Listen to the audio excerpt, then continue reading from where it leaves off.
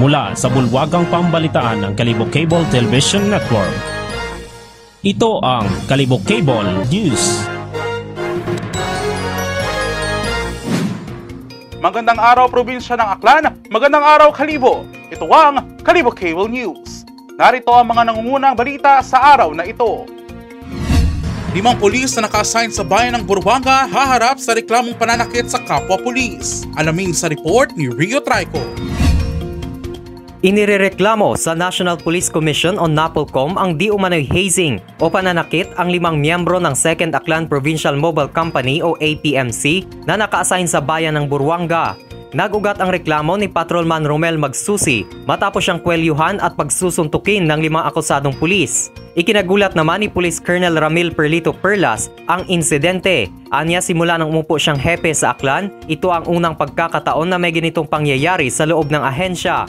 Habang gumugulong ang investigasyon sa Napolcom, ipinag-utos ni Perlas na i-relieve ang dalawang corporal at tatlong patrolmen mula sa 2nd APMC at pansamantala muna silang ililipat sa 1st Mobile Force Company sa bayan ng Libakaw.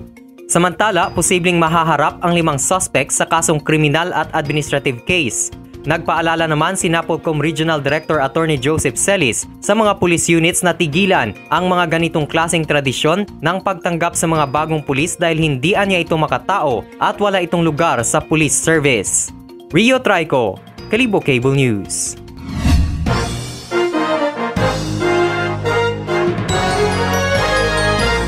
May-ari ng vulcanizing shop binaril ng customer na isang miyembro ng bomb squad. May report si Randy Nakuspag. Nabaril ng isang miyembro ng bomb squad ang isang vulcanizing shop owner sa barangay Mambogbanga matapos itong magwala. Nakilala ang biktima na si Gerald Sonyo, 38 years old, na residente rin ng nasabing lugar. Base sa inisyal na investigasyon, nagpapaayos sana ng tricycle ang pulis, ngunit mainit daw ang ulo ng biktima at nagkasagutan ang dalawa. Tinangka ng biktima na hampasin ng tubo at kawayan ng pulis, kaya nabaril ito sa kanang bahagi ng kanyang katawan. Voluntaryo ring sumuko ang pulis na miyembro ng bomb squad na nakilala kay Police Corporal Ronald D. Tomas na nakadeploy sa isla ng Boracay. Sa ngayon, ang biktima ay nakakonfine sa Dr. Rafael Estumbucon Memorial Hospital para sa medikasyon. Samantala, nagpapatuloy naman ang investigasyon ng Banga PNP sa nasabing insidente. Randy Nakuspag, Kalibo Cable News.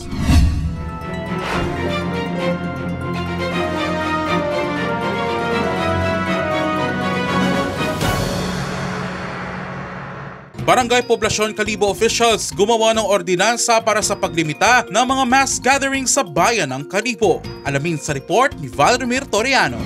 Gumawa ng ordinansa ang mga Barangay Poblasyon Kalibo officials para sa paglimita ng mga mass gathering sa lugar.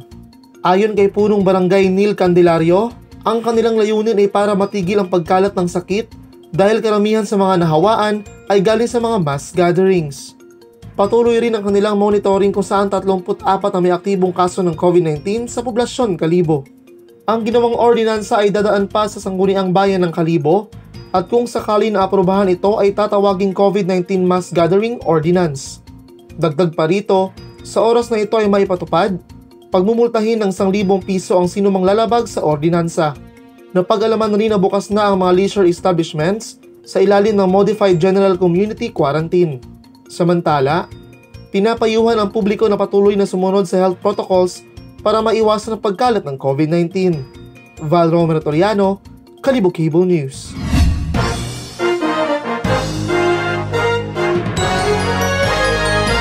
Parte ng barangay Katipunan sa bayan ng Buruanga isinailalim sa surgical lockdown. May report si Rio Trico. Isinailalim sa Surgical Enhanced Community Quarantine ang sityo Binaliw sa Barangay Katipunan sa bayan ng Buruanga simula May 18 hanggang June 2 ngayong taon. Ito ay matapos namaan ng coronavirus disease at nakitaan pa ng sintomas ang dalawang pamilya sa nasabing lugar kaya minabuti mo ng isa ilalim sa surgical lockdown para hindi na kumalat at magkahawaan pa. Agad namang nagsagawa ng contact tracing ang lokal na pamahalaan kung saan 86 ang na-identify na low risk contact at pinaalalahanan na sila ng otoridad na limitahan muna ang paglabas. Namigay rin ng food packs ang LGU sa mga apektadong residente. Ayon sa pinakahuling tala ng Aklan Provincial Epidemiology and Surveillance Unit, as of May 20, 2021, ang bayan ng Buruanga ay may 26 na kabuang kaso ng COVID-19 kung saan 13 na ang gumaling, siyam ang naka-facility quarantine, tatlo ang naka-admit at isa ang namatay. Rio Trico, Kalibo Cable News.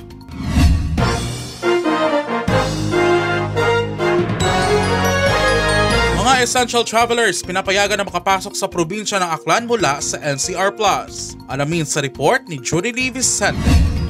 Mga essential travelers lamang ang pinapayagang makapasok sa lalawigan ng Aklan mula sa NCR Plus bubble sa kabila na isinailalim ito sa General Community Quarantine with heightened restriction. Ito ang paglilinaw ni Provincial Administrator Attorney Selwyn Ibareta tungkol sa mga iba't ibang reaksyon ng mga Aklanon matapos makansila ang kanilang pag-uwi sa probinsya dahil sa pagkakaroon ng problema sa website. Ipinaliwanag rin ni Attorney Ibareta na nakasystem generated ang QR code kung kaya't automatic na dinideny nito ang pag-uwi galing sa NCR Plus. Kaugnay nito, pinapayuhan naman ang publiko na huwag munang sumailalim sa swab test at mapabook ng ticket online sa mga airline companies hanggat walang kumpletong impormasyon galing sa lugar na pupuntahan. Dagdag pa rito, pinapaaalahanan ng publiko na kahit nasa ilalim ng MGCQ ang probinsya, panatilihin ang pagsunod sa mga ipinapatupad na minimum health protocols at iwasan ang mass gatherings na naging dahilan ng pagkalat ng coronavirus disease o COVID-19. Jorele Vicente, Kalibo Cable News.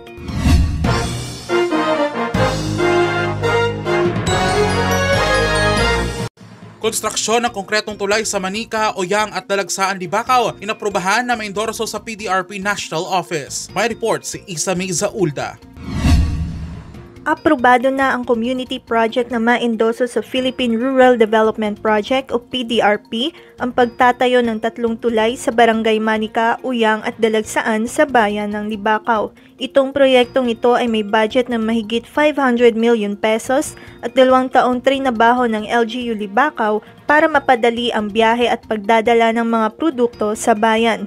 Ang proyektong ito ng mga Aklanon Bukidnon Tribe ay matagal nang gustong isagawa lalo't na't ang barangay Dalagsaan ang pinakamalayong lugar na hindi naabot ng mga pampublikong transportasyon at kinakailangan pang tumawid ng ilog para makapunta dito. Dagdag pa rito, Makakatulong rin ang proyektong ito sa pagbubukas ng maraming oportunidad sa mga libakaunon lalo na sa turismo, pati na rin sa Peace and Order Program ng Pangulo sa pamamagitan ng NTF-ELCAC o National Task Force to End Local Communist Armed Conflicts. Ayon naman sa naging pahayag ng Vice Mayor ng Libakaw na si Vincent Navarrosa sa kanyang Facebook post, ang tulay project na ito ang magiging daan para mapalapit ang kanilang bayan bilang sentro ng Panay Island, kagaya ng pagbubukas ng maraming oportunidad sa Central Panay Mountains at pagwawakas ng paghihirap ng mga Libakaunon. Nagpaabot rin ng pasasalamat ang Vice Mayor sa lahat na naging kaparte ng proyektong ito na matuloy ang pag-aaproba sa PDRP National Office ng Tulay Project sa mga nabanggit na barangay ng Libakaw. Isa May Ulda, Kalibo Cable News.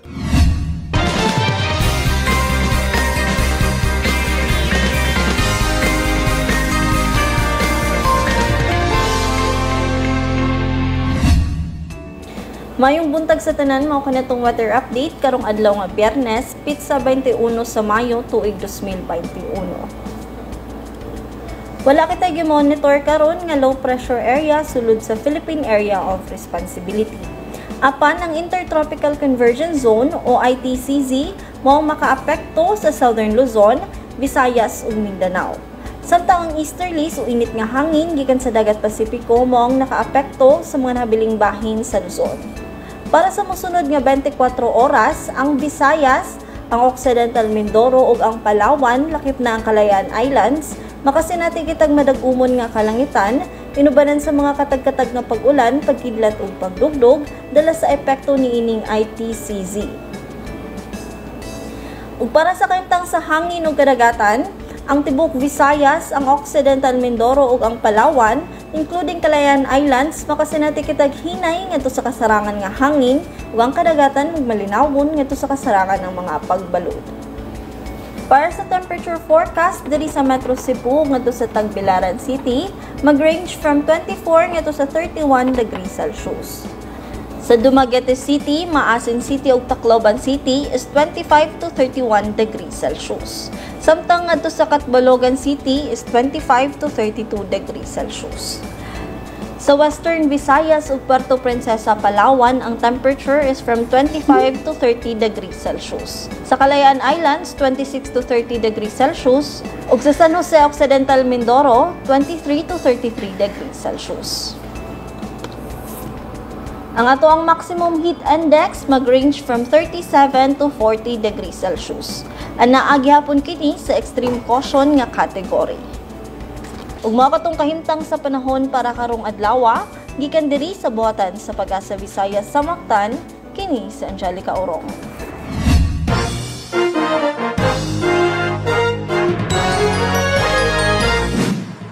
At iyan ang mga nakalap na balita ngayong araw. Ako po si John Ronald Guarin at ito ang Kalibo Cable News. Magandang araw!